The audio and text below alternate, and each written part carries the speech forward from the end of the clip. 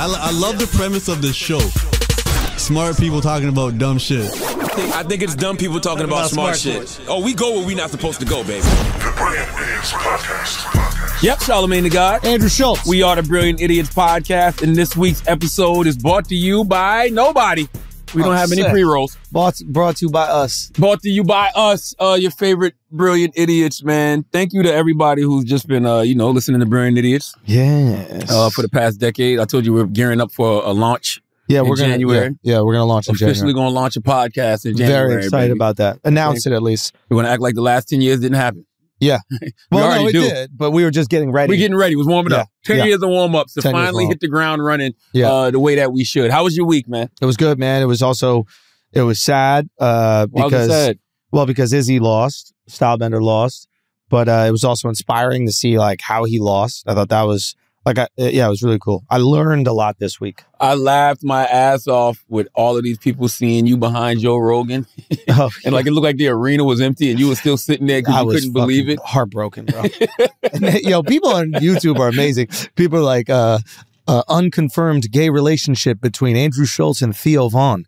And they edited the video. like, at, there was one point where I'm laughing. I tap his leg and they slowed it down. So it just looks like I'm holding his knee. I got to get the video when it started. But, um, but yo, it was really cool seeing the way that Izzy reacted to it.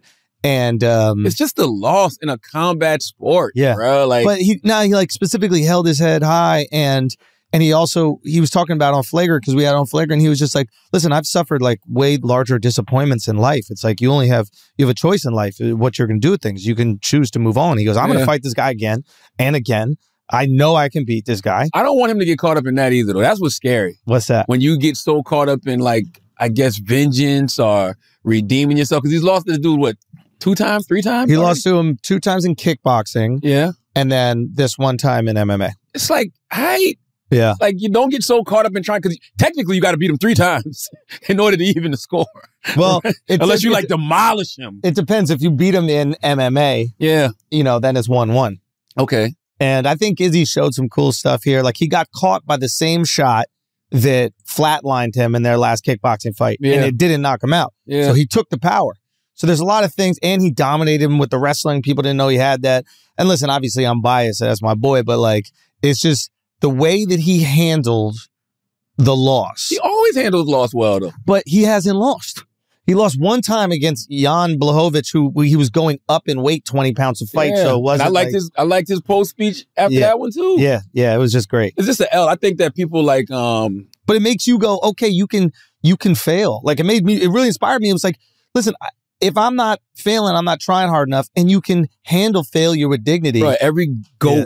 every greatest of all time has lost. Like Yeah. what are we talking about? Yeah, Like Floyd Mayweather confuses people because he's 50 and 0. yeah, So people think you got to be undefeated to be the best ever. yeah, Tom Brady has lost what three Super Bowls. yeah. Uh, Muhammad Ali lost. Muhammad Ali lost fights. Michael Jordan lost a lot on his way That's to fact. sheer dominance. Yeah, You know yeah. what I mean? But it's just like, come on, you lose. LeBron James has lost a lot, Yo, a cool thing. a lot, A lot. A lot. a lot. We don't Too talk much about for a, some. exactly too much, some. for some. Yes. But but uh, he a cool thing happened, I think, and I think this was really cool. And maybe this is like the the Duval effect of me, where I'm always like looking at what the positive outcome from a even a sad situation could be.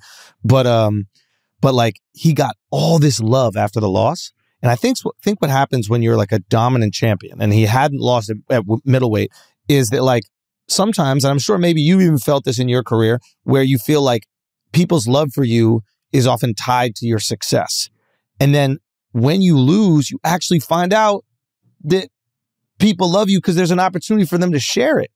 You know what I mean? It's like all these people were reaching out and all these people were saying how awesome it was that he went and took on Yeah. a challenge and how awesome it was and the way that he handled it. And I don't know, it's like I saw all this love for him. And I think it's a cool thing to kind of absorb in a moment that could be dark because it's like, oh, these people aren't just riding because I'm winning. Yeah, They're yeah, riding yeah. because they actually like something about me. It's probably his humility, and it's probably because they've seen him lose before and handle it with grace. Yeah. Not to mention his MM fucking Hayes. Exactly. Anything can Is happen. there an undefeated MMA fighter? I'm I'm maybe not like uh Not nobody that's A been in it in a while. yeah, maybe not Ooh. a top. Yeah. I mean Khabib is not fighting anymore, but he hadn't lost and uh Oh, Khabib never lost? no. Oh. Yeah. Oh, okay. Yeah. Oh, listen, man, Izzy still Izzy at the end of the day. Facts. I mean, and by the way, every now and then there's somebody who just always got your number. I think Izzy got this. You think so? I think he has I it. don't. Why does he need to fight him again? Why? It's been three times. After three, three is too much, bro. Different. After three, after four, like I don't want to see fours and five. Like they're talking about Fury Wilder again. if he got like that. really hurt badly and like you know something was wrong, he got concussed, etc. Then I go, okay, what are we doing? But to dominate the guy, to be up three one, Yeah, and then he got caught, and the guy has knockout power. The, he Yeah. got caught, but um, I'm really curious to see what happens. And the thing about it is, and and Rogan texted me this. He was like, "Listen, Izzy, the last really tough fight Izzy had was against Kelvin Gastelum, and he came back from that." Like a changed fucking man. He was like a superhero. He absolutely wiped out the division. He goes, This guy comes back strong. I'm really curious to see what's going to happen after this Mhm. because I think Izzy's good. Rogan's like, I think Izzy's coming back even stronger. really. Yeah, like, All right. yeah. So we'll see, man. We'll see. Well, salute to Izzy, man. Um, Yeah. somebody else. I don't know if he's undefeated or not.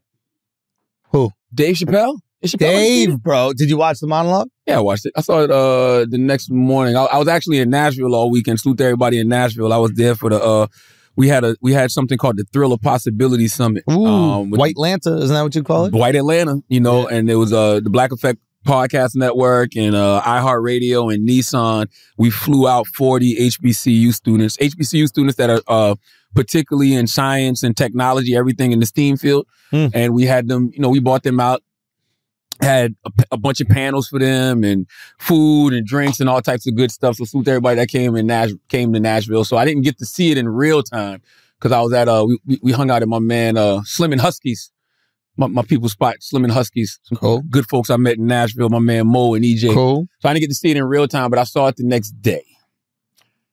What were your thoughts? Of the monologue, I mean, he's just exceptional at talking into a microphone. His timing is incredible. I like the second half of the monologue better. I like I actually like the stuff about politics more than the the the Kanye and Kyrie stuff. I did like how he brought it all back around, especially that Yeah. joke about the chain.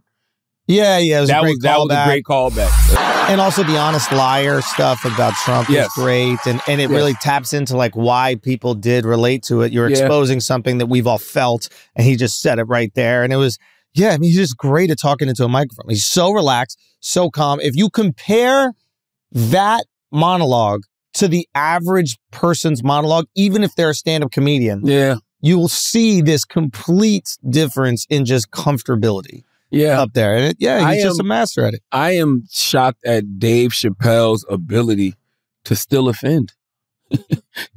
because Well, you oh, because you think- because you know he's probably going to say something that offends you. But it wasn't. There was nothing. I mean, I thought. I mean, not to us because we're not Jewish, but to I even spoke to like Jewish friends. They were like, "Yeah, I don't think there Jewish people aren't monolithic though. Like, why do we keep saying that? Like you said, we always like that's like saying your black friend. Like you know what I mean? Yeah, but all black people think the same. And uh, But it's- come on. But it's like because the Anti Defamation League put out a statement. You but know, that's what the Anti Defamation League does, bro. You could say like you could say Jews are great at everything. They'll be like, whoa, whoa, whoa, whoa. We do not speak about Jews in that way. Yeah, no, I don't. I don't know. I man. will say this. I think that in moments like this, I I want groups like the ADL and other Jewish people who say that Dave is doing things like normalizing anti-Semitism, use these moments as opportunities to teach. Because these are teachable moments. Because I watched this monologue and I don't know what's anti-Semitic. You know what I mean?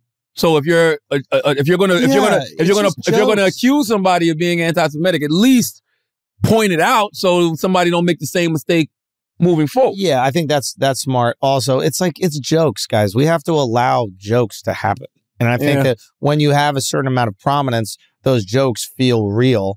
And I think one of the great things about uh, Chappelle, the reason why he's been so beloved by so many different groups of people is that the punchline to his jokes are very cartoonish. Yeah, They're yeah, very yeah, silly. It's like it's the reason why the sketches were so profound, right? Is because the actual funny part was so absurdist and ridiculous that like it was hard to be like, oh, that really hurt my feelings, Yeah, yeah, yeah, right? And um, you know, there. So so in this perfect example, we had it uh, with with his speech. It was silly.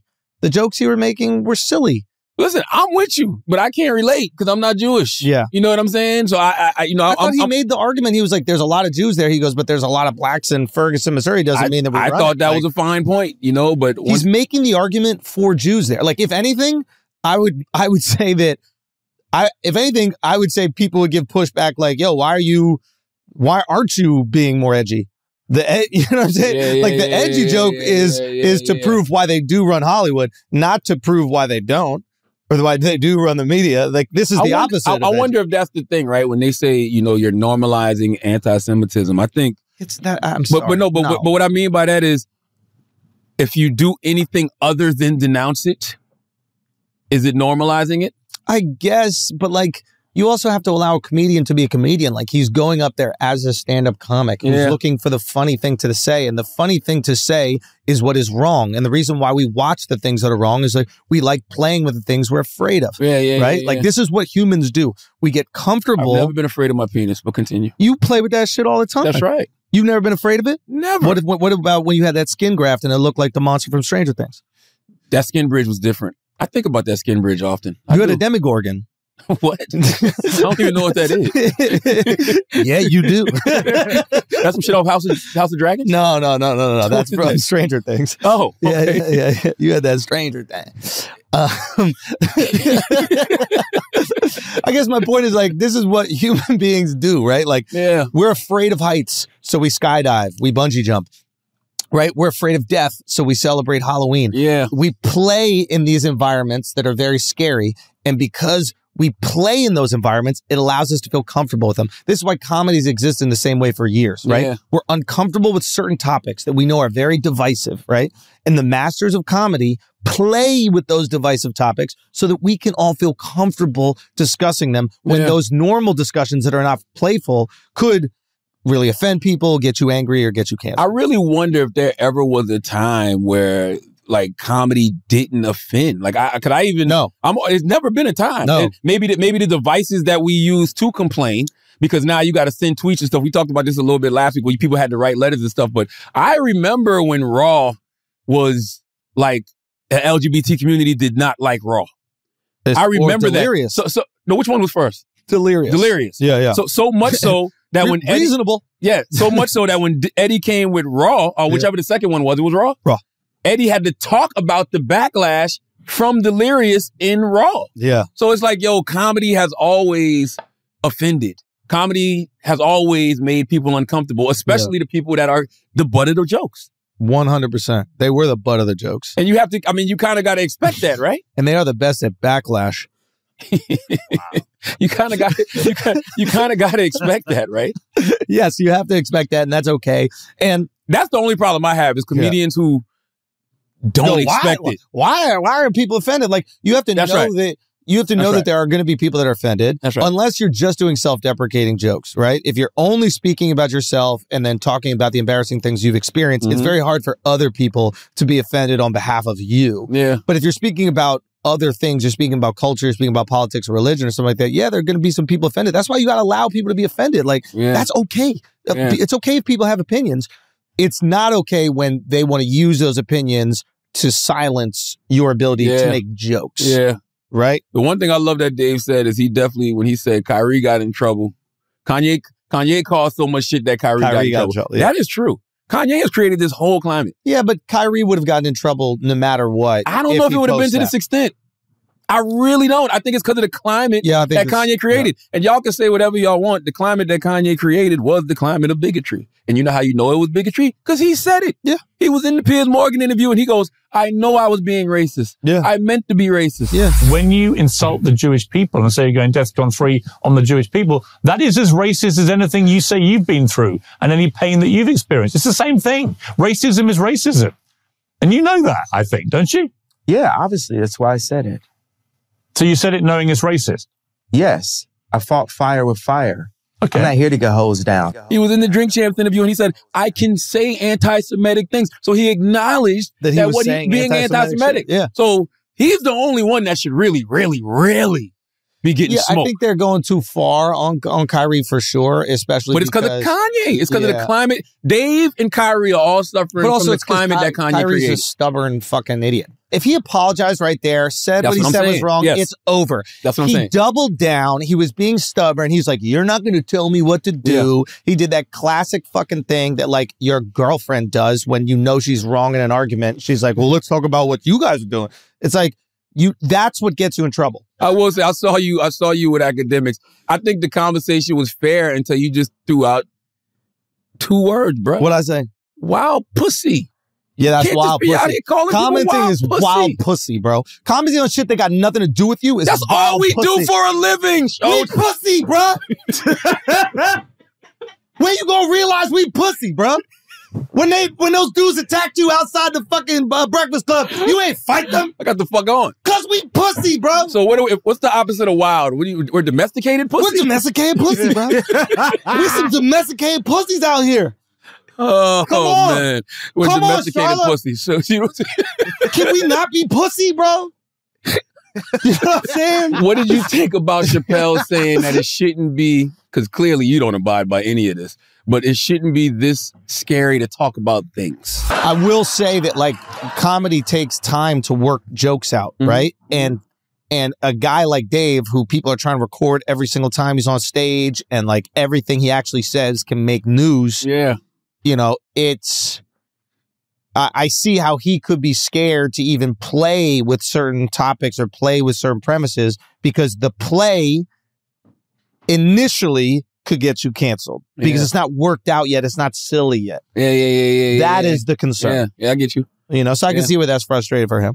Yeah, I was reading something where it was talking about how dangerous it is now because you can be, like you said, be in a comedy club, right? You could be in West Bubblefuck somewhere, working something out. Yeah. Somebody records you. That's Now it. that statement is all around the world. That's it. Right, and and and to your point, you might not have worked it out yet, so it's still in like its rawest form. So it might not even sound like a joke, and it's something people might take and run with it, and it might cause actual harm to people.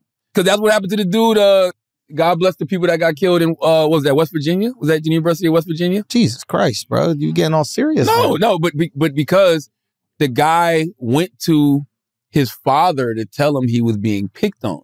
Oh no! And then the father pulled up. No, the Oh. guy. The, the- I don't know what the. I can't remember what. We can pull the clip. I can't. I don't remember what the Oh, father don't watch it. Told the son. No, no, no, no. Oh. Father gave a statement. Oh, So I don't know what the father told the, the son, but basically, you know, I guess he, whatever he told him, you know, didn't cause the son to do anything I but pray other than go Oh my God! shoot three people and kill them. I pray in the future my kids aren't bullied, man. That that's got to be. Does that ever happen to your kids? Bullying? Did they get bullied at all in school? Nah. Because there's nothing you forbid, can nah. do about that. Yes, shit, it right? is. What the hell you I can't mean? imagine his kids getting bullied. Yeah, that's right. They, they got to deal with him at home. in the world. Yeah, I'm going to the school, and doing what though?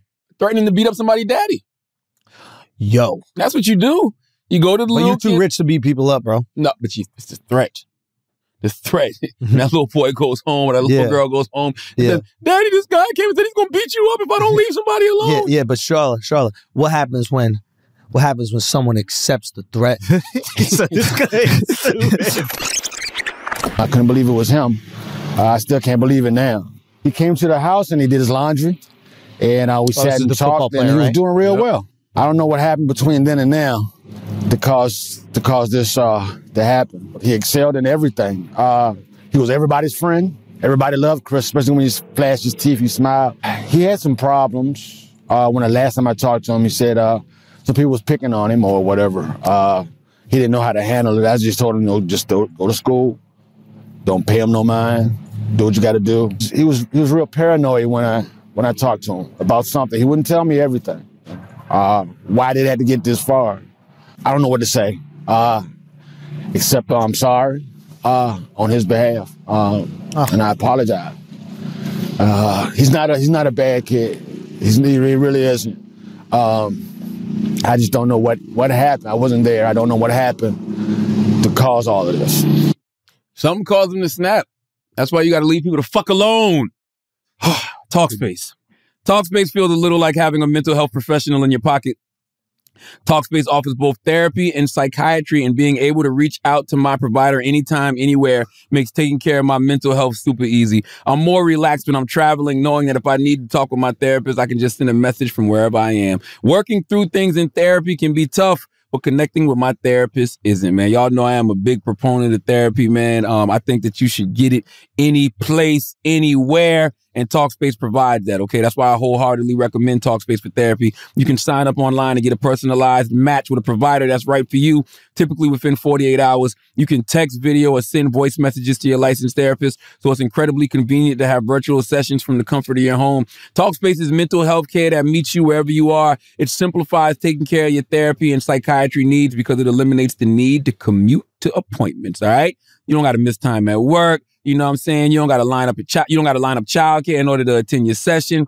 Talkspace has thousands of licensed therapists with years of experience in over 40 specialties, including depression, anxiety, substance abuse, trauma, anger management, relationship issues, food and eating, and so much more. Talkspace is secure and private, using the latest end-to-end bank grade encryption technology to store client information and complying with the latest HIPAA regulations. As a listener of the Brilliant Idiots podcast, you'll get $100 off your first month with Talkspace when you go to Talkspace.com slash idiots. To match with a licensed therapist today, go to Talkspace.com slash idiots to get $100 off your first month and show your support for the show. That's Talkspace.com slash idiots. You want to do Blue Chew Schulz? Yo, BlueChew. Okay? Blue Chew. Listen, it's fall. Okay? You know you're deep in fall. It's Thanksgiving coming up. Like, listen, we, we're going to be around family.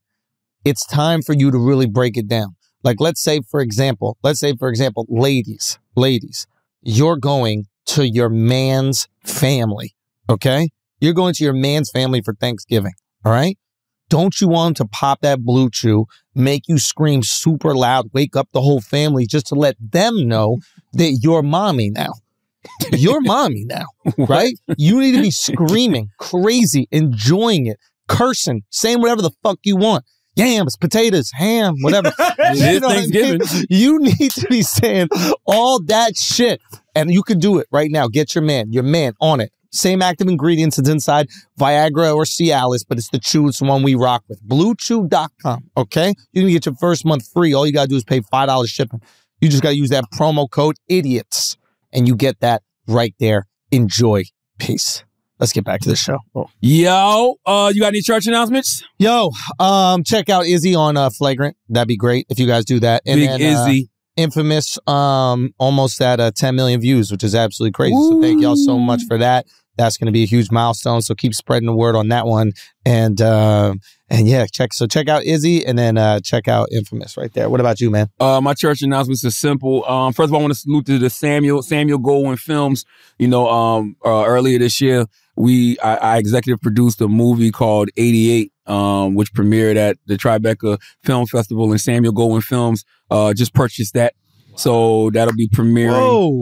Yeah, that'll be premiering on. Uh, it'll be released in theaters and digital platforms uh, early next year. So salute to everybody, my man Brandon Dixon, and everybody i- i- i- that Congrats, contributed to the making of uh 88. Um, salute to Eromose, the filmmaker.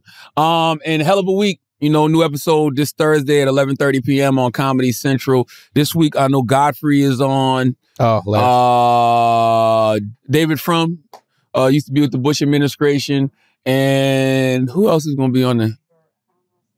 Deny, deny. I'm sorry, deny. I'm just going to call you deny. Oyoke from Black Panther. I got, I got to learn how to pronounce her name uh, Oh. by Thursday. But yes, uh, Thursday night, 11:30 p.m. Comedy Central. Join us right after the Daily Show. Okay.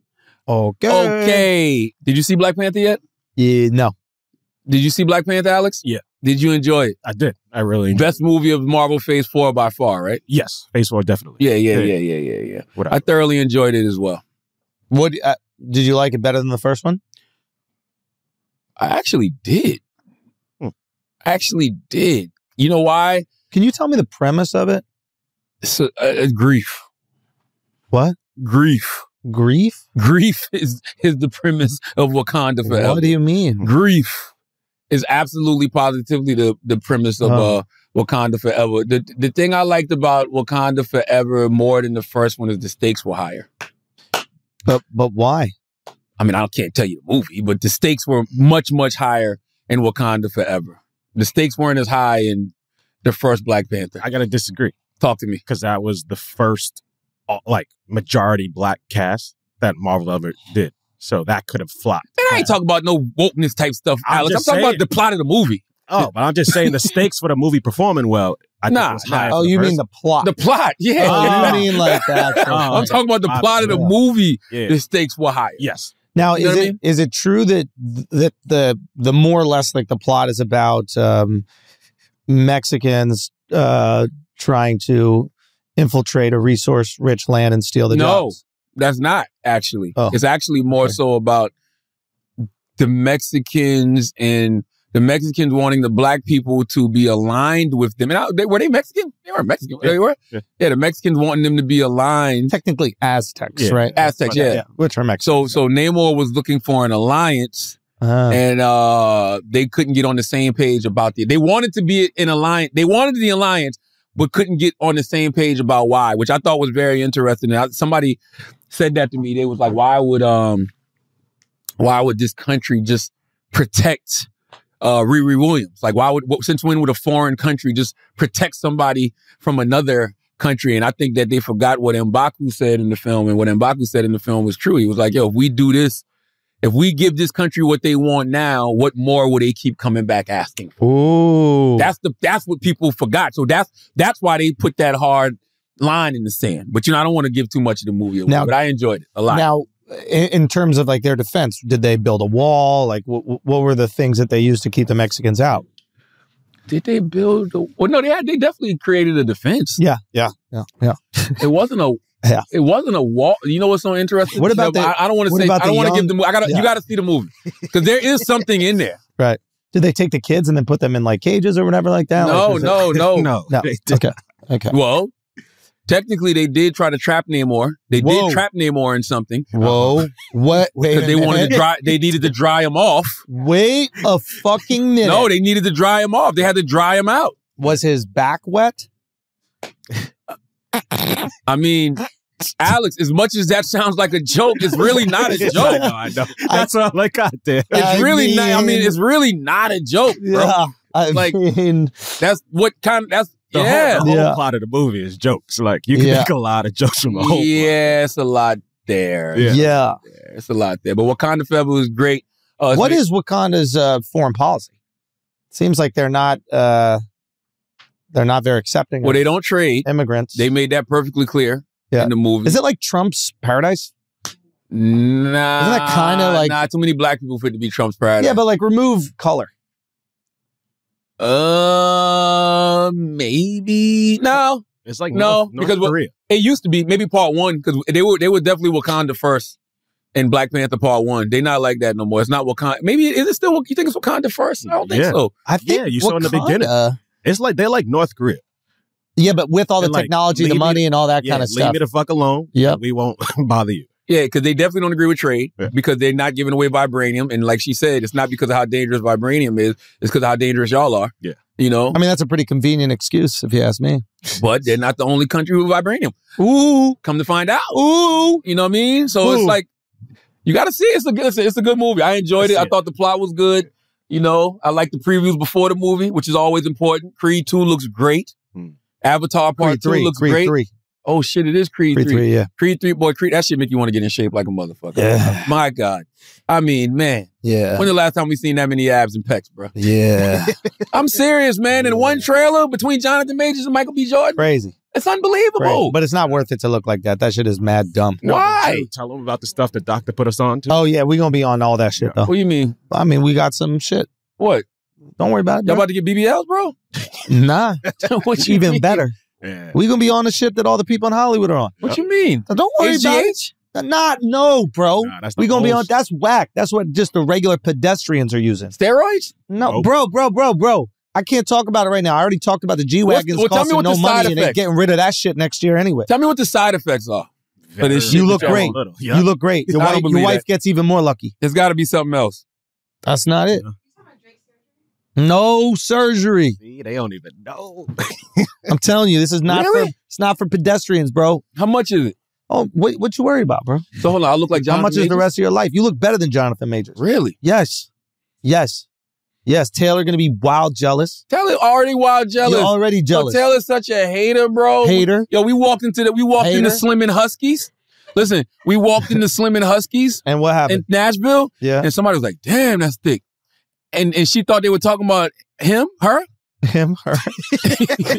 And so when we heard, we both looked at the same, we both turned around at the same time, Yeah. and dude was like, "You Charlotte." To you. Yeah, and I was like, that's And then what compliment. happened with you? Nothing. She just sat there sulking, trying to order more protein at fucking and more carbs Husky's. at dinner. Give me more husky. Now give me more husky. Damn, Taylor, that's fucked up. You can't even just let him be great sometimes exactly. too if he You has a can't let me thick day. fucking be great. You see your guy, your guy's announcing his presidency tonight, bro. Who? Trump. In order to make America great and glorious again, I am tonight announcing my candidacy for President of the United States. Oh no, he about to get washed. But it's gonna be fun. Why y'all think that? Why y'all? How how how much hope have y'all lost in Trump because of one midterm election? Nah, here's the thing. He's gonna win the Republican Party. There's no question. Yeah, and who can beat him from? Who can beat him from the Democrats, bro? Come on, bro. Joe Biden, spry Biden, bro. You think? I I don't believe that. You don't think Biden got it? I don't know. I'm be honest with you. I don't know. What if they just say numbers back and forth to one another? Do you think who would win then? He'll lose. He'll lose Biden around 15. You think? Yeah, yeah, yeah, yeah. If you throw a comma at Biden, it's a problem. that's the number with a comma, there's no fucking way in hell he's saying that shit correct. I just don't like how y'all have given up on Trump so fast, bro. I think Ride we with just- your guy. We've given up on presidents. First of all, what, what do you mean, my guy? what, are you saying? My guy. You like Trump? As a fucking comedian, Okay, but ride with him. I do. Ride he him. bombed one time. Now all of a sudden, No, he didn't bomb. Them other bums in the party bums. well, he co-signed the bums. I mean, that happens. If you if you do a Netflix special where you Yeah. put four comedians up there and they bomb, Yeah. it's all on Andrew Schulz. is it though? Yeah. I don't know if it's on me. what you- I don't think it's now you me. sound like Trump. Yeah, I don't think it's if on they me. do good, Listen, if they give do me good, the credit. That's my credit. But if they don't, then that's definitely them. See, the guy has bars. What I hate about uh, what I hate about Trump is is the fact that all y'all love watching that motherfucker too. You send it around your group chats. Everybody has so I much used fun, to. and then publicly nobody says shit. What do you mean you used to? You just did three seconds ago. You said the funny thing he just said three seconds ago. That was funny. We like funny things. No, We're human beings. We was like funny that was things. funny. And when people make us laugh, it's hard to hate them. Yeah. That being said, uh, like the world is so much easier during a Biden presidency. We know he's a corpse, but life is just so much I- more I- calm. I think the world is easier during not it, it don't even matter if Biden's the president. It matters what the opposition is stirring up. So so the reason I think that it the world will be better if we get back to like regular conservative conservatism, like Yeah. the shit that we're used to. Yeah. Like the Reagan, Unengaging Bush, politicians. boom.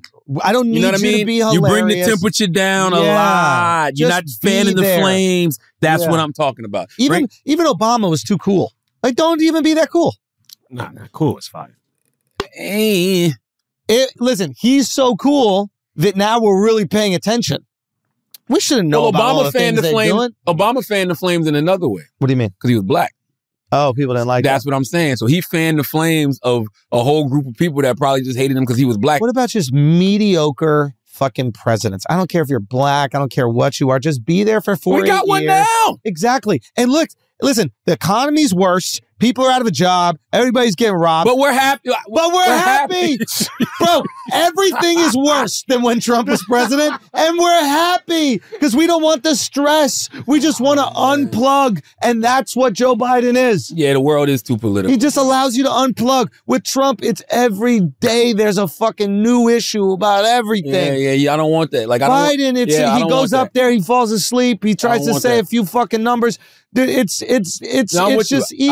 I don't want that. I don't want to be back in that news cycle where every the, the, the world is holding on to the president's every, every single word. I don't want that. Especially, I'm gonna tell you what's even more If dangerous. Biden said, "Yo, I'm not going to talk for the next four years," vote for him Listen, imagine this Twitter in a Trump era. This Twitter, in the Trump era.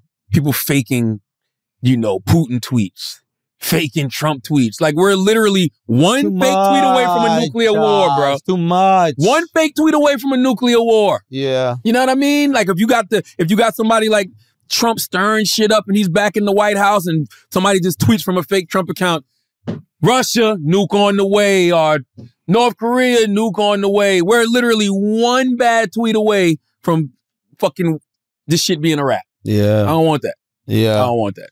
Yeah, I don't think any of us want it. We just want calm. We want to be able to unplug. And that's the thing about Trump, which is so effective, is he's so entertaining you can't unplug. Yeah, He's so good at getting your attention, you can't unplug. yeah. But what do we actually want? We want to be able to unplug. We have a dead person that's president right now, right? and as embarrassing as it is, as it globally, all of us like the temperature Oh, so much more right now. And the problem is we also love distraction. I like it more when the red side simmers down. What does that mean? I feel like we were on the fast. We're, we're on the fast track to fascism. One thing that the midterms gave me was just. Oh a- God, a- I a- refuse to learn what that word means. but I the one, refuse. the I one thing the midterms gave me was a little bit of hope that you know what people still care about democracy. No, they just don't. They, they care more about abortion than the Republicans thought. A strategic error. Like But Republicans. that's democracy though, because think about it. Six, ah, yeah, yeah, you got you got a six three uh, conservative majority in the yeah. Supreme People Court. want to get their rights scoop are, scoops. and rights are getting taken away. yeah. Rights, Yeah. you know. So well, we, yeah, that's the thing. Even conservatives want to be able to abort. I think we should just care about rights. Period. Sure. Like when, when you live in a country where rights just start getting taken away, that's the slippery slope for everybody. Yeah, but how much more fun is it to just be silly? Silliness is great. Easier to be silly in a country that's at least stable. And it feels think more we're getting, I think we're getting back to stable. But that's the thing about stability. It feels more stable, even though all signs show we are not even close to as stable as we were during at least Yeah. the beginning of Trump's presidency. Yeah. Like, not even close. I mean, the funny thing about American democracy, we're overdue to collapse, bro. Bro, why are you even saying that? The We're truth, Americans, huh? Where are we going to go? I'm not saying we're going anywhere. I'm just saying all democracies at some point in history no, no, no. have collapsed, No, bro. no, no. America's long overdue. What, what, do you mean long overdue? Chris, come on. Don't do that. Don't do that. Don't do that. Don't do that. you don't Don't do that. You didn't bring him over here for the Jew talk. We're not doing this. We had Jew talk? Yeah, we had Jew talk. No, we didn't. Yes, we, did. We We did. We talked about Dave Chappelle. Oh, you're right. Yeah. You're right. And you didn't even bring him over. You didn't ask what the Jew had to say about it. That's how you knew that it wasn't offensive to Jews. Is there's a Jew in the room, you're like, we don't even need that. No, my take. Listen, my, I told you what my take was on that whole situation. Use it as a teachable moment Yeah. instead of just saying, "Hey, that's anti-Semitic," or you're normalizing anti-Semitism. Let people know what they're doing wrong, so Yeah. they don't make these mistakes moving forward. Because I don't think anybody's intention is to hurt. Dave started it off denouncing anti-Semitism. You know what I mean? He Yes. started it off in that way, even though you know that was kind of a way to like make fun of the performative nature of apologies Well, 100%. you know, but he still did it, is what is what I'm saying. Yeah. Um, what do you think of this, right? I What? found this very interesting. What? There's a couple in Arizona, Oh, boy. a husband Oh, no. and a wife Oh, God. who were teachers. Uh, the, the wife was an eighth grade teacher, the husband was a fourth grade teacher. Oh, goodness. Taylor Wood, just get away from the cliff notes. Yes, you did. You clearly did. So, um, her husband is a fourth grade teacher. She's an eighth grade teacher. They both got fired because they have a OnlyFans page where they upload X-rated videos, and they was getting it popping in the classroom. They was getting it popping in the classroom. Uploaded the videos. They got fired. Uh, I agree that they should have got fired for bringing the school into it, right? Mhm. Like if you're going to do it in the classroom, fine. But this is interesting to me because we literally had this conversation in Nashville over the weekend because one of the kids asked about social media in the workplace. And I was saying, like, man, I never thought about it. I mean, for what we do, social media matters in our workplace. But if you're like a teacher or something like Yeah. that, it's like, but, and this is what I presented. I'm like, well, what if you're a, a model citizen at work, right? Like a Yeah. model citizen, employee of the year, everybody loves you, but you go home and you got like a gossip blog page. Like an alter, like or you're an alter ego. You pop you bust it open on OnlyFans, and you do this to make money. Should that affect your day job? If they know that it's you, yeah. Now, this teacher said she blocked everybody in Arizona, which I didn't even know you could do. She said she blocked everybody in Arizona, and she only does this on her in her free time. Right. But she did it at the school. Did it doing it at the school is fireable. She fucked up with with the school. But also, like, I think there can be uh, morality clauses in contracts. That's what I was wondering. We all have those in ours. yeah. Uh, and I think, like, for example, if you have athletes, right? They say in the contract you're not allowed to go skiing or snowboarding. It's too dangerous, Yeah. right? So I think as a teacher, you could say you're not allowed to do porn because these kids look up to you, and maybe there's going to be some girls that really look up to you and admire you, and then say, "Hey, this is what I'm going to do when I'm older because this person that is my guiding light also does it." Is OnlyFans considered porn though? I mean, if you're fucking, if you're fucking, Yeah. You know, I mean, I don't know if they was fucking tonight. They just said X-rated videos. I'm assuming there was some penetration happening. yeah, You know what I mean? yeah. No, no, I don't want to. So you don't want this from your teachers. No, I don't want no. Okay. No, what what the fuck? What's wrong with these teachers? So what job is this cool to be what able Al, to do? Al is a fucking oh. Um, you are putting this like stink on people doing OnlyFans. you Yeah. don't know what Which her vagina smells like. nah, but Alex. I'm just that saying, is so disrespectful. It's a it's a profession that people do. They, no. they- I'll, I'll put a stink on it. I'm fine with that. But but to, to Alex's point, OnlyFans, like, and to the moral clause thing, right? I will shame that. I will. I'm. Oh. I feel comfortable shaming. OnlyFans, why? a lot of this new technology and these new platforms aren't written into these contracts for these historical institutions. Like Yeah. schools didn't know OnlyFans was gonna come, and she said she did it to make extra money because she can't make enough money as a teacher. Mm. Yeah. Yeah. I think other than the don't classroom, I mean, bro, uh, I don't think I don't see what the issue is. Other than the other than them doing it in the classroom, I don't see the problem, bro. I don't want my teachers. I don't want my kids' teachers having OnlyFans. I don't want it. Really? Yeah, I haven't thought of like the smart reason why, but my knee jerk reaction is, yeah, don't teach my kids and suck cocks on the weekend. What if it's no fuck? But she's gonna suck cocks on the weekend regardless. Yeah, but and, not, and not on husband. video. Not on video. What if it's not uh porno? What if she's just like showing her feet or something to make extra money? I just don't. I, I don't know. I want you to inspire my daughter to go out there and Yeah. get a job, be an educator, be an engineer, be a doctor, or something like that. Not just show her feet on Instagram. I don't Damn. think there's any parent that would be proud of their kid doing that. But now you hating on all the boys in the class because you remember that pretty teacher that you had back in the day. Oh, I would 100%. have prayed she had an One hundred percent. One hundred percent. That's wild. Though. Yeah. That's distracting as fuck, Alex. You I mean- sitting in the classroom Yeah. watching the teacher, and you're like, "Oh shit, that's what she squirted at, son." Yo, Yeah. don't put your hand right there. It's like, you know what I mean? Like, yeah, it's a little bit much, bro. Yeah, it's too much. You can't bring it into the school. I guess what you do in your private time is fine, but if you're monetizing and you're putting on the internet, then it just affects the school. It just affects the learning environment. Yeah, no, I don't want to see that shit. I, I mean, Hey, hey, hey, also, let's pay teachers more. Pay fucking I'm teachers like, more, like bro. two things can be true. Like, I don't want you to have an OnlyFans, and I want teachers to get way more fucking money. I would love that. and her alias was Chloe Carter. Oh wow. She had an alias and everything. She got ratted out. Somebody told on her, but uh, t- t- t- they shouldn't have been doing it in the school. No. You fucking in the school, you bringing the school into it, you bringing the class into it. That's where the problems come into play. But man, man, this is a really tough spot to be in. Like, I yeah, mean, is it that tough? Just like, hey, teachers, you can't do OnlyFans. Sorry. but teachers, I need to make more money. Well, I mean, if you're doing OnlyFans, you should. That should be your only job, You think so? right? Like, I, yeah, I, I strip on the side. Like, no, like But once but you yo, do that, yeah. that's your fucking but main mad job. college students do that. They strip to make ends meet through school. That is the biggest lie in the history of stripping. oh no, no, I know a bunch of them. I knew a bunch of them growing up. No, I did. I did. No, there's some Way before strippers that take like a community college course, but it's not like every girl that's going to fucking UCLA Oh no, not every. also No, no, not every. But I know, I know, I, I know some. Like I know some real life diamonds from Players Club, bro. Straight up, who used to strip. You know, now they do their thing in like different, like media or lawyers or whatever. Like they oh, really. Oh, good. Oh yeah, yeah. That's yeah. beautiful. Nah, nah, I'm glad that they did that. Hundred percent. What else we got, Taylor Gang?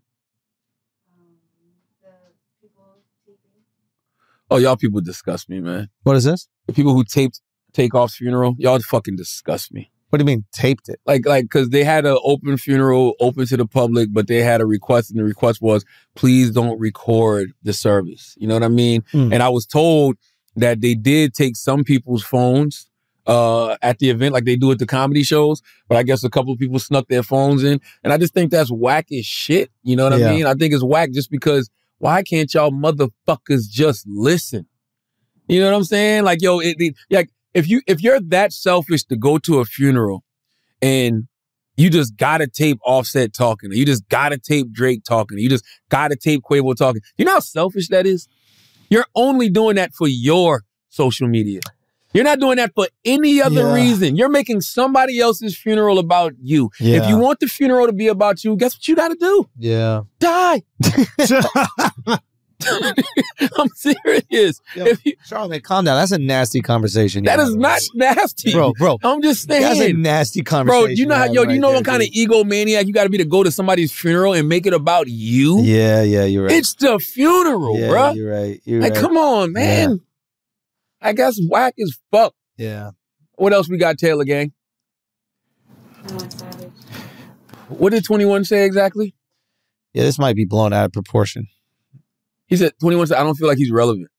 I just feel like he got fans. Let me hear the audio. That's what Clubhouse is. Taylor said they're all talking over each other. It's Clubhouse. Yeah.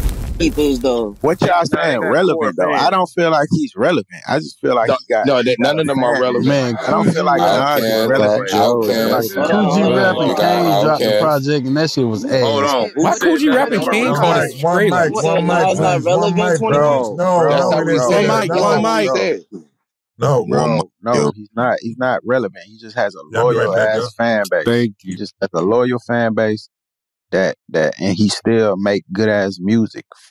But They don't like have a core fan base, bro? what what what Is though. what y'all saying relevant though? fans. I don't feel like he's relevant. Okay. Uh, It's listen. The word relevant. I'm going to defend 21 here because I think I do understand what he's saying. I think he's using that word in terms of like affecting current hip hop music and culture. Right? The songs that Nas is producing, maybe going on the charts, or you hear on radio, you hear at the club, Mhm. you hear at the strip club, or something like that. Like, I think what he's trying to say is he's not a uh, prominent artist currently, but he said he's an amazing rapper and he has a loyal fan base that loves hearing his rap. So the word relevant, s- being not relevant, sounds like a real fucking diss, and I think that that was maybe the worst word to use to make that point. But I don't think Nas would agree. I don't think Nas is going, "Oh yeah, I'm a top forty uh, charts rapper right now. Every album I put out, that shit is going crazy." I think that if I'm 21 Savage, um, and I love 21 Savage, you know what I mean? But I don't think relevant is the right word Exactly. to use with Nas. I think Nas is classic. I think Nas Yeah. is legacy. I think Nas is icon, you know, but he's definitely still relevant because he's been relevant for 28 years. That's why the word is wrong. But I, you understand, like, what is the right word for that? He's not. um I, I listen. He, he put out an album Friday. It's his fourth project with Hit Boy, King's Disease Three, and they're discussing it on Clubhouse. So, so, so how is it not relevant? Sure, but you know what not- I'm saying? Like but- they're discussing Nas. But you remember, like, when we were growing up, a Nas album drops and then the world stops, Did it? or at least in New York. I don't know. I mean, like, I don't remember. The, I mean, I, we I love Nas. World stopping. I mean, people the hip hop yeah, yeah. world, like, People would you know, every time. I- Yeah, I, I, I pay attention now though. I was work me and my dude, me and my cousin Pro, working out the King Disease three yesterday. I just I, I, I, think would there's a difference. I, I, guess, yeah. I would rather have the 28 year career. I would rather have the 28 year career. there's no question. You look at Nas's musical catalog and you look at his investment portfolio. oh My yeah, God. it's killing it. I mean, God, Jesus. But Christ. no, no, no, that, shit relevant. His investment portfolio is beyond relevant. Very relevant. All right. I mean, Yeah. Nas invested in Ring early. I just on, don't like- know if 21 was trying to like insult Nas as a rapper. He said he's a great rapper, but yes, the his effect on rap culture is different now than it was back in the day when he was more prominent. The word relevant is going to seem insulting and I understand why people, you know, kind of wrap themselves around it, but he calls him an amazing rapper. He makes amazing music. He compliments him. He's Yeah, not saying yeah, that the skill has diminished in any way. It's just how many people are consuming it has changed. Yeah, I just don't. I, I mean, when you say somebody's not relevant, like it, it- to me, when you say somebody's not relevant, it's like what? Because he's not the algorithm of the day. Do you know, That- what yeah. I, you know what I mean? Yeah. He's not the current algorithm of the moment. But that's the beauty of having a loyal fan base is that you can continue to put out your art even if you are not That's right. part of the algorithm. Like Nas is going, him and Hit Boy going to do about forty, probably Yeah, forty thousand records independently. beautiful. They're not signed to nobody. Like they're really Nas is just doing this art with Hit Boy because he really appreciates doing the music. It's great. You know what I mean? And once again, his investment portfolio. Crazy.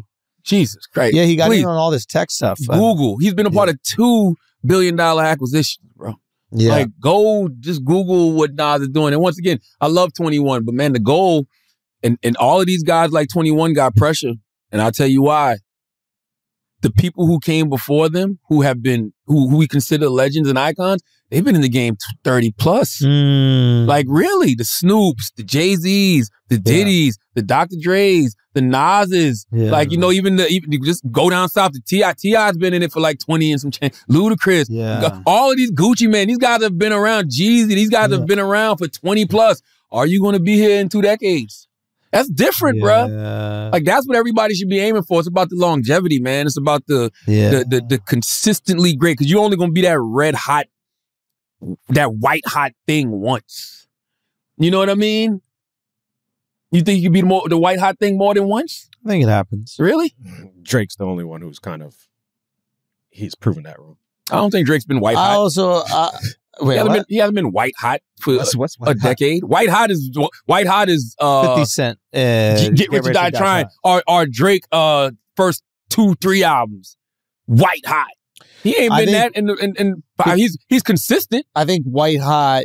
I understand kind of what you're saying. Maybe is uh, white hot also implies new, Yeah. right? There's an excitement about the thing that's new. Yes. Whereas Yes. Drake has been at the top of the game for over a decade, but he's not new. Yeah. That's right. But uh, to me, I still look at it, it's like, like it doesn't get any bigger than Drake. So whether you're fucking white hot or not, you are the top of the game. Yeah. Like who's bigger than Drake Uh, I mean, in it, rap?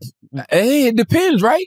I mean, I mean, dude, no, I mean, when Kendrick comes out, he shuts shit down, bro, bro. No, no, no, no. Let's yes, he do does. Come Let's on, stop, man. this. Kendrick got to pull a All Pulitzer respect Prize, to bro. Kendrick. All respect to Kendrick Kendrick Kendrick. got a Pulitzer Prize. Stop, guys. Kendrick What- comes what out and wins every Grammy that's out. Like, what are y'all talking about? Stop. What are you talking about? I Yo, don't hear anyone Kendrick talking co- about uh, his last album that came out. No He's on tour, killing it across the globe. Have you, did you see his? am- Yo, Kendrick. Yo, Kendrick literally vanished on stage, okay, show. Um, bro. Vanished. No, no. Sta- I'm like We're right talking now- about maybe listen, one and two. I'm right not now. here. Like, like gone. Yeah, yeah, Like yeah. Yeah, Kendrick is Kendrick, bro. But no, no. Okay, two things can be true. We can all acknowledge that Kendrick has one of the coolest live shows that's out right now. Unbelievable. Like so Unbelievable. intricate, artistic. He Unbelievable. really cares about not only the album he's putting out, but like the live show experience. It's like really fucking beautiful. and phenomenal catalog. Oh, unbelievable! No, no, no. The There's guy no hasn't question. missed. But that's There's what I'm no saying. question. We're talking about one and two, but I still just think when Drake, Drake is- I don't know if it's a one and two, the bro. world stops. Like everyone listens to the album. Everybody. Eh, Dude, Drake is on a different level, man. I'm sorry. And it, look, eh. what you don't think that Drake is bigger objectively?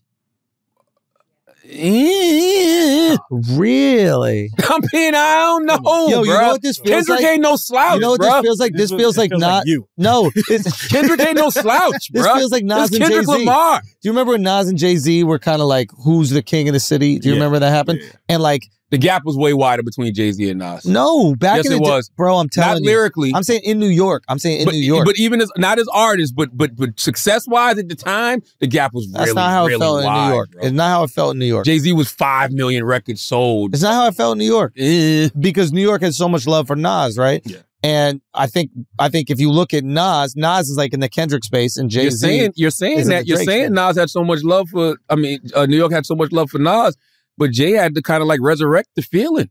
Like remember, he was saying Nas was uh, done.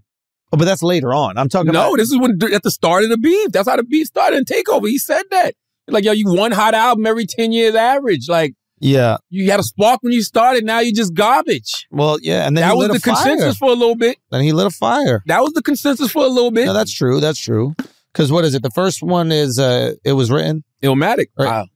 Wait, what? Illmatic. It was Illmatic. Then The better album. It was written. it was written. Then he had a couple ones I Am that was were great. not as. I am was great. See, that's I God, it's so weird how we remember stuff. I remember like the first two being fire, I am and then was like great. third and fourth, Fourth was good. That was Nostradamus. Fourth was ugh. and I heard even I am was like Nah, I like not well received, and then fifth was I what am had Hate Me Stillmatic. Now on there. There was a couple, but Stillmatic was fifth Stillmatic was after Jace uh, put that that spark in. him. because that shit was crazy. Stillmatic was Stillmatic fire. was fucking. Stillmatic was fire. Stillmatic was fire. I'm just saying. I don't think that. I I think Kendrick is is big, bro. No, no. Kendrick we all agree he's massive, huge. I think Al said we're talking about one and two. He's absolutely massive. I don't know if it's one or two. I think it's go just this, like you got some shit in your beer. I think it's like one A. Oh my, because I'm sucking wild dick Whoa. right now. Whoa. Wow, unnecessary. Sometimes you got to stop yourself from, from sucking wild cock. Yo, like yo, son. yo, come off your Kendrick Yo, dick real quick. I know somebody out there riding in the car like, yo, get off, yo, yo, yo, you riding Kendrick wild hard right Oh, now. that's why you said it. I was like, I don't even know why he's talking like this right now, bro. That was great. Maybe Chico's right. Like, Sometimes you got to Reddit yourself. yo, you got to Reddit yourself. okay. All right, what else we got, bro? What else we got, Taylor Gang? Salute to Billy McFarland, man. Fyre Fest? Man, He making a comeback? yeah, but everybody focused on the wrong things, bro. Which is? Where's Andy? Son, I need an assistant. Where's Andy, bro? I need an assistant. We ain't seen or heard from Andy since Andy said he's out here willing to suck dick for, For water, bro. bro. You know what I'm saying? Water. Billy called and said, Andy, we need you to take one big thing for the team. And I said, Oh my gosh, I've been taking something for the team every day. He said, Well, you're our wonderful gay leader, and we need you to go down. Will you suck dick to fix this water problem? And I said, Billy, what? He said, Andy, if you will go down and suck Cunningham's dick, who's the head of cu- uh, customs, and get him to clear all of the containers with water, you will save this festival. And I literally drove home, took a shower. I, I, I, I drank some mouthwash. I'm like, oh my gosh, I'm really, and I got into my car to drive across the island to take one for the team. And I got to his office fully prepared to suck his dick. To suck his dick. Like, who? What is? What are? What are people on your team doing? Demand more from your Not team, that. bro. Not that, bro. Huh? Not that. They, bro. they, they. You need an Andy. I give these motherfuckers water every day. I, I, I bet you. for free, bro. I bet you Andy is Free, somewhere right bro. now being an asset to somebody's team, bro. Facts. You know what I'm saying? Yo, Andy, if you're listening right now, I need you, bro. Word up. Andy's somewhere on somebody's team keeping his mouth closed until he needs to open it. And when Yeah. he opens it, shit fucking happens, bro. Shout out to Andy. I thought this was a great idea. Mike Tyson and Evander Holyfield partnered up with the ear edibles because when I first saw this idea, I thought it was fucked up that Mike Tyson was doing this because it's not his ear. It wasn't his ear that got bit. Was it? What was it? what do you mean? man? What are you talking about? what do you mean, man? Mike bit Holyfield's ear. Oh, oh, but it was an ear that got bit. Yeah, but it's not like you gotta. It, it would. It would only be right to bring Mike into it. I mean, bring I mean, uh, bring Evander, Evander into yeah, it. yeah, yeah. You know what I'm that's saying? Yeah, yeah, yeah. Like this, people need to take notes, bro. Like you know what I mean. If a body part Relax helps you take notes. get to a word, if a body part helps you get to a certain point, bomb. I mean, yeah, having a Evander there is fire. Come for on, it. man. Yeah. Come on, man. Nah, I like that. What else we got, Taylor? Huh? Huh? What is this uh, Odell Beckham Jr. thing? Did you, re- you read about that? I did. I did. What is the deal with that? Um, Odell is suing Nike for twenty million dollars. He's saying that Nike did not honor its commitments. Uh, I wasn't aware that uh, uh, Odell was a Nike athlete and brand icon. In fact, I think they said he was the first, and they said that he kept his he kept his promise and fulfilled his obligations to the brand, but uh, Nike has not fulfilled theirs. And he said in 2017 his deal with Nike was supposed to be over, and he wanted to sign with Adidas, who offered him 47 million. And he claims Nike promised to match the deal to keep him, but that fine print said otherwise. Whoa. Uh, I, I mean, I don't think that no lawyer is going to sue Nike Yeah. for 20 million dollars if they think they don't have a case. Wait, you think? Yeah, I, I mean, I don't think no lawyer would even take this case if they don't think they had a case. I think they're just trying to settle. There's a huge dude that's going to put a stain on the brand by complaining that Bro, Nike there- fucked there- there- there's, no, there's nothing y'all can do to Nike, bro. I see people even saying this, and and like, I I I respect it. You know, suit my man, my son, my son's calling for a boycott of Nike because of the Kyrie Irving stuff and this and that. Bro, is there's We're not doing it, bro. nobody. It's just not happening. You know why it's not happening? Yeah. We all know how Nikes are made. Yep. Would you, you, you- would you want to explain, or you want to give this to Chris? Is this No, I, I um, Chris? You want to rep for your people real quick? I. I don't China. know. I don't know how they made, bro. What? I don't know how they made. Oh, you don't want to. You don't want to say I don't know Why? how they made. why?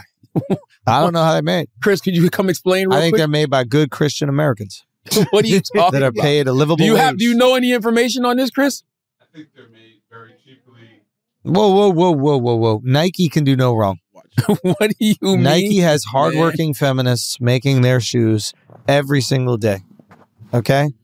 With gender neutral bathrooms and pronoun announcements. It is one of the most woke companies in the world, and these sneakers are made. Nike got sweatshops, bro. Whoa, dude. what do Whoa, you mean? dude. Come do you on, man. You don't know that for sure. It's the truth, right? How do you know they're sweatshops? I don't think they're all in China. I think they're spread out throughout Asia. I think there's some in Indonesia, some in China. But Look yeah. at that. The stain of forced labor on Nike shoes. I mean, how are they forced if they are they making money? Who, what do you mean? I mean, are they getting paid? No, I don't. I don't think so. Not like yeah, they get paid, but not. Yeah, not not not no, not for the conditions from what I was told. My point is there's a lot of other reasons that you can get to the root of boycotting Nike. You know what I'm saying? Like there's a lot of reasons you could say, "Hey man, I'm not rocking Nikes no You're saying more." Nike shouldn't take moral uh moral ground. High ground. I don't think they are. I'm saying I don't think people should take moral high ground in regards to what they want to boycott Nike for. I think companies should just be honest and be like, "Hey, listen, we have to do what we think is best for our company." yeah, yeah. and yeah. aligning ourselves with someone who is saying bigoted shit or promoting bigoted shit makes us look bad. So we have to separate ourselves. that was performative of Nike though, because Nike already had announced earlier this year that they were this shit is severing ties with Kyrie though. Oh, they did. Yes. They announced earlier. Cause remember, Kyrie went on the, the tangent against them on uh, social media because he said the sneakers were whack, blah, blah, blah. And so then Nike put out a press release. That was like back in March or May. Yeah. One of the months that begin with M. And they was like, uh, that they probably wasn't going to fucking keep the relationship going Yeah. after after this this shit was up. So it's like, Yeah. that's performative. I mean, don't you think the Nets owner is the same way though? Yes, very much so. Mhm. 100%. Everybody's trying to get their licks. That's the pro- that's the only problem with the Kyrie situation is like a lot of this don't have, have, ha a lot of this doesn't have to do with what Kyrie just did.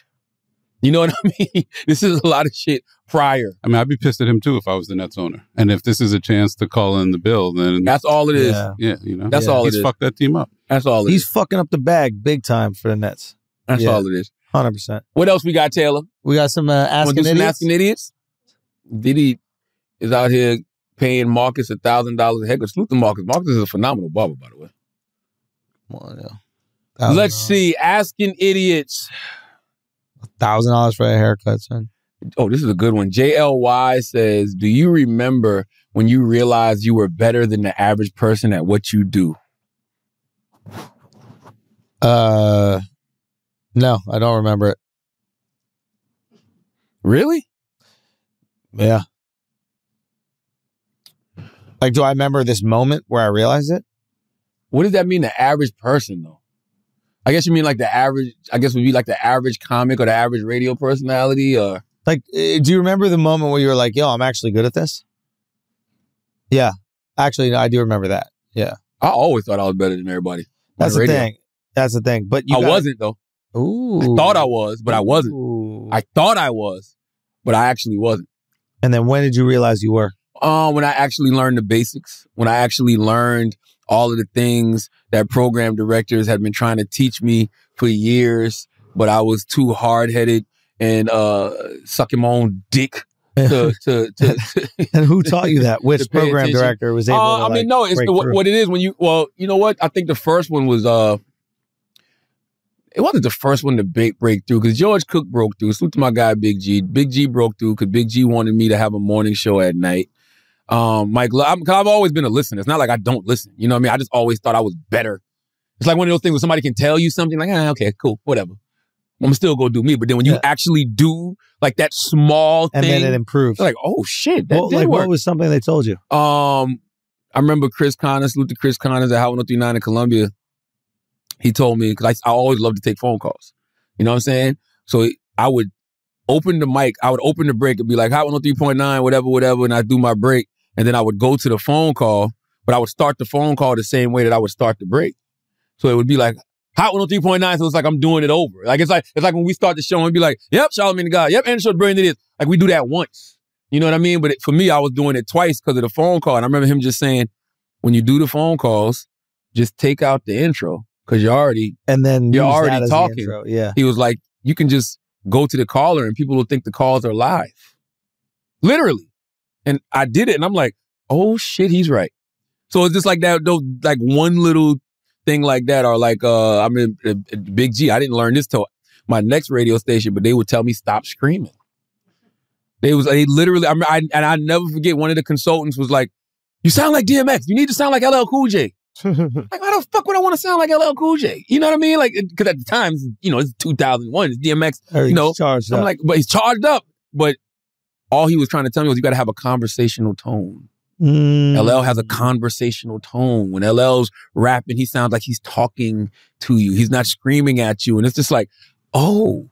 So yes, those little tweaks helped me to become an even better radio personality. Yeah. So even though I thought I was better than everybody else, and I probably was skill wise, Yeah. it's just those little adjustments that made me that much better.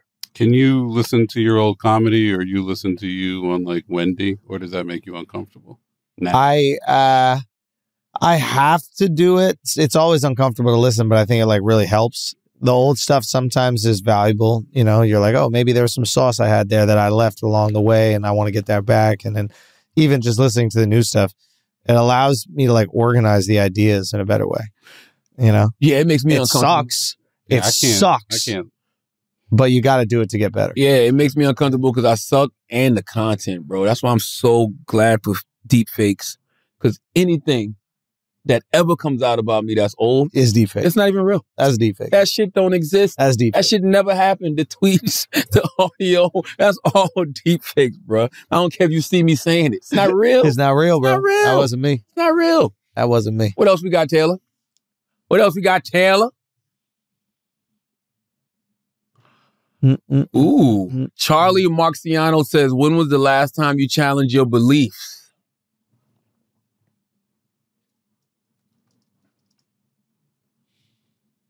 That's a good question.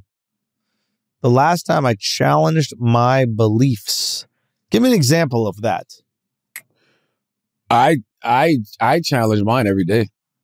Yeah, but what is an example of like a belief? you're- Um, probably something you believe in religious, religion wise, or even just a stance you might have on something. You know what I mean? You would like flip on abortion. yeah, I try to uh, I try to challenge the things that I believe constantly because I think that's where like the funny is, like making the arguments for both sides and then seeing like where I settle. right. But but yeah, no, I had um the I I had my beliefs challenged in terms of like the way I think not only politics but like uh, Hollywood. I think a lot of industries work. Whereas before, I thought that there was like a group of powerful people that were pushing out the information and ideology that they believed in, and now I think that it's really more which which tended to be more liberal, and now I think it's really more about people afraid of losing their job. And I think the way that you behave when you're afraid of losing your job is accepting of everybody because it's very hard to get fired for being accepting Right. Like nobody's ever be like, that guy's way too accepting. We got to get him out of here. So it's not like there's this political agenda in these spaces. It's the agenda is I don't want to get fired because my kids are in private school and I have a home with a mortgage, which is completely understandable. And so so you just play it a little bit safe at work. Um and and that made me have a little bit more empathy for the decisions that are made in these industries and made me realize that the way that you're actually going to create transformative art is you have to kind of make it yourself first and prove it's successful and the success is the safety. So once you know we make an R- r-rated comedy a huge hit then all the studios will go okay you can be edgy and you can make r-rated comedies and we won't get fired. Okay green light an r-rated comedy. But they're not going to be the first ones to do it because like all human beings they want to protect themselves. I'll challenge that belief a little bit. Okay please I'll challenge that belief a little bit, and I will say that in order to make great art, you have to take risk. oh i You know what I mean? that, oh, And- oh, that, and- that's what i'm and- saying Yeah, and I don't. Oh, That- okay. What I'm saying Yeah. is they're not willing to take the risk. But so in order to create it, you have to do it independently and prove it's successful. And once it's successful, that risk is no longer there. Oh, got you. I get You what see what I'm saying. saying? Yeah, yeah, yeah. Because you know our, our great friend Jazzfyah, Jasmine Waters, God bless the dead. She would always say, "You can either be great or you can be safe. You can't be. you can't be both. And I and I, I truly feel that way. You can't be. You either can be great or you can be safe. You can not be both, especially in a world in the world of art. You know what I'm saying? Like you got to take chances. You Don't got to take Will risks. Smith was great and, and safe. No, I don't think there was anything safe about Will Smith because you got to think about when Will Smith first came up. I know it's easy for us to say that, but everything Will Smith did, somebody took a risk. To take a rapper and put him as the star of a sitcom on oh yeah at that NBC, I'm saying- that was a risk. To take that rapper and then start putting him in blockbuster films, that was a risk. Like every time, every time Will Smith was starring in these films, it was a risk. And it was almost like a wonder every time he would do it. Like, oh my God, he got another number one? Whoa, wait a minute. This shit with aliens is number one now? Or, oh, this shit with him playing a drunk superhero is number one? Like, all of this shit was a risk, a risk, a risk. And sometimes those risks didn't pay off. He had 10 straight number ones Yeah. of risk taking. And then he had like five flops in a row. You know what I mean? But everything mm-hmm. about Will Smith was a risk. I think when we when we think safe, sometimes we just think content, but no, think about the risk that the studio was taking. And he's black. He's he's a black rapper that you're putting in these blockbuster films. Like nobody thought that shit wasn't po- on paper. That shit not supposed to work. Yeah. Yeah, I think you're right. Black Panther was a risk.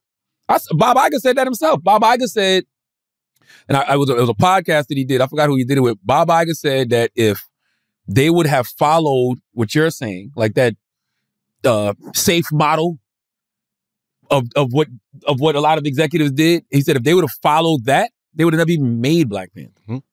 They would have never made. There's nothing about it that even says make this film. Nonetheless, make it do it the way it should be done. Black cast, black director, black writers, and it's a billion dollar, you know, Mm. business. So yeah, like Jazz, like you and Jazz are saying, basically, you know, you can either be safe or you could be great, but you you you Cannot can't be be both. But I challenge my beliefs all the time just by simply listening to both sides. Like, yep, I don't just t- like I just don't take my feelings like okay, like we talk about the Chappelle thing. I can hear it and be like, all right, that was funny. But then if I see somebody say, oh, let's normalize anti-Semitism, I don't just dismiss it. I want to know why they feel that way.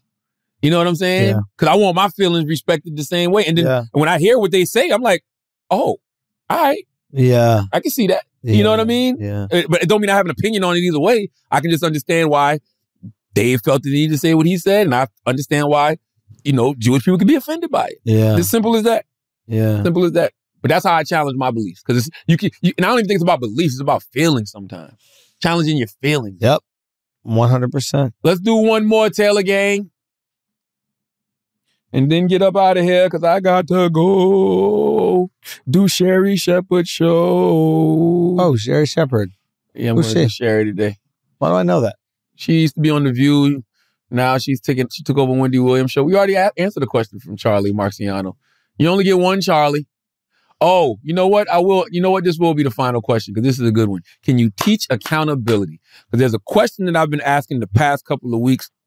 I ask it a lot of different ways. Um, I say, what do N words hate more? Reading our accountability. What I say, the broaden it. What do people hate more? Yeah. Reading our accountability. In 2022, going into 2023, what do you think people hate more? Reading our accountability. Accountability. Definitely accountability. Yeah. Nobody wants accountability. It's tough, man. Being Why? accountable is tough. Yeah, because it forces you to look at what you've done that's wrong. You know, it forces you to reflect on like kind of who you are and Yeah. how you treated a person. And Yeah. and a lot of times we don't want to believe that we're the type of person to treat someone like that. Yeah. So we reject the accountability because we have to reflect on a part of ourselves or a moment of ourselves that was like really fucked up. Like uh you know, not really fucked up, or just like uh, unsavory. You know, like you know, it's funny. Like when my wife and I uh, argue uh, about stuff. Like for me, it's very easy for me to just say I'm sorry. Right? If I know I fucked up, it's very easy for me to just go, yeah, I'm sorry. Like because I view my fuck up as a momentary lapse in who I am. Right? My wife views an apology as a defining moment in who she is. So it's harder for her to apologize because it's her going, well, then that's, you're going to think that's who I am as a person. Mm. And I'm going, no, no, no, no. I know who you are as a person. Mm. That moment, you just weren't that, which we all cannot be that. And you apologizing is just going, hey, I wasn't myself for a moment. You not apologizing is making me feel like that you believe that behavior is okay to always do, which is really frustrating. It's like as soon as I get an apology, it's thrown out the window. But now I understand why that's tough for her for her because she's believing that people like me or anybody else that she's apologizing to is going to view her as as that unsavory behavior. Does that make sense? I get what you're saying. So it, I don't know. It's just really funny, That's like interesting. Though. the different ways that people look at it, at accountability. Apologies show me that you're not that person. Th- that's how I look at it. Yeah. But what if you what if you view the apology as like acknowledgement that you are that that bad thing, that flaw? Yeah, like so I could see why that's so much harder. So it's really been like it's been me communicating to her. No, no, I know who you are. I love you. You're you're, We- you're apologizing because you made a mistake, not because you not because you, you are, a mistake. Yes, but I can see how if there are people that are like that, it's harder for them to to give up that apology. And it's Yeah. I don't know. I thought that was kind of a really cool thing, and and maybe maybe people who struggle with accountability, maybe that's how they feel. And I guess I would say that to them too. That's like everybody's going to make mistakes. It's- We are human beings. We are flawed, and apologizing for those mistakes isn't only for you. It's to let the other person that loves you and trusts you know that that isn't who you are. That's right. That's like right. that you don't think that that's okay. That's right. I'm telling you, it's, it's when you don't get an apology. When somebody does some fuck shit to Yeah, you it and sucks, they man. don't apologize, it's because number one, either they don't think they're wrong, or number two, they just feel like they can do that to people. and that and that is it makes you feel unsafe with that person. Absolutely. Yeah. And make and I'll cut you off. Right. Straight up. Uh, Yeah. People that cannot take accountability for their bullshit, I'll cut you off. You blame everybody else. If you're never the problem, if everybody else is the problem, like come on, bro. Yeah. Like stop it. Knock it off. Don't you think that's part of the hardest part of being a parent sometimes? Is teaching accountability. Well, it, ooh, that's a great question. It's easier sometimes just to be like, all right, I told you how to clean your room to go out. Now you want to leave. I just don't want to deal with this shit. Just go and get out of my hair. But I'm also like, no, got to teach these kids a lesson Yeah. that if they don't do something, That they That's don't right. get something. Yeah, they don't get that's something. right. That's right. It's hard. It's hard for me. It's hard for me because you know, like what Schulz said earlier, I'm pussy. Right. My Yeah. wife is way tougher. Well, I'm than I pussy am. too, man. Pussy three. You know, yeah, we're pussy three. We're three pussies. We're three blind Pussy pussies. three- three blind pussies. we really are. Well, let's shave him then, so we can see. All right, three blind pussies. But no, it's like with my, my, my kids. I'm like on some, you know, I'll act like I'm no TV, And then or no, you're not going. Then you see their face. And then they like, like, yeah. God damn it! I know it's because I have daughters. Yeah. I know it's because I have daughters. I don't know, man. Sometimes I think my parents were so evil. Not my parents, but my dad. You know what I mean? Because they were tough. Yo, they really didn't let us do shit. like what? When they would take shit away, they would take it away. Oh, really? Yeah, when you were grounded, you were really grounded. When it was ass cutting time, you was really. I don't even hit my kids. Really? I was getting hit with extension cords and wooden spoons off the kitchen wall and uh, everything. Anything your parent can get your hands on. Like, Really? ah, man, please. I don't know what kind of kids I'm raising. I mean, It's real. it's real. I don't know, bro. I don't know if they. I mean, I, I do know that they all gonna have manners. They're very respectful, That's good. and I don't feel entitlement. That's good. I don't see the entitlement. But when they tell me no, That's crazy. they really mean no. Like for example, Anything. When I be like, go do such and such, no. Why not? Because I don't want to. When I say no, my no is shaky. Right. My no is negotiable. Their no means no. Like, god damn. Why is this not how it's supposed to be? yeah. Why am I explaining to my three year old Why that they gotta- I'm the father? yeah. that when I tell you to do something and your mom tells you to do something, Yeah. this is what it's supposed to be. Yeah. They hit you with, I don't give you consent to do that. No, I ain't got that shit. no. That's some school shit. There. They that's some that's that that's that pronoun shit. They teaching that in school along with new pronouns. They say it with like, a but your wink, kids are old. How old your the oldest? 15 and 13. See, I got a, my oldest is fourteen. I don't give you consent to do that. Like go to your room. No, no, no. Like, I'll tickle them. You know, I tried to tickle my oldest daughter the other Jesus day. Christ. She's like, I don't give you consent to touch me. Man, can I you was imagine doing that in public? Chris, imagine, doing, imagine doing that to your daughter in public and somebody hears it. Right. you probably get arrested on the spot. It's like a Yeah. joke. They're saying it like, They're being tongue in cheek. but they know That that's they've a been tool. taught that wow. that's something to say. Yeah. Oh, Jesus. Wow. That's a good ass way to get out of tickling. I'm not gonna don't lie. Right. yeah, yeah. I I don't give you don't consent to do that. Yeah, man. I just, I don't. Being a parent is hard in 2022, bro. Hey, It really is. but a blessing. Hopefully, it's definitely a blessing. Hopefully, Keep hopefully. shooting, show. you know me. Uh, as always, you know about me. Big Schultzy.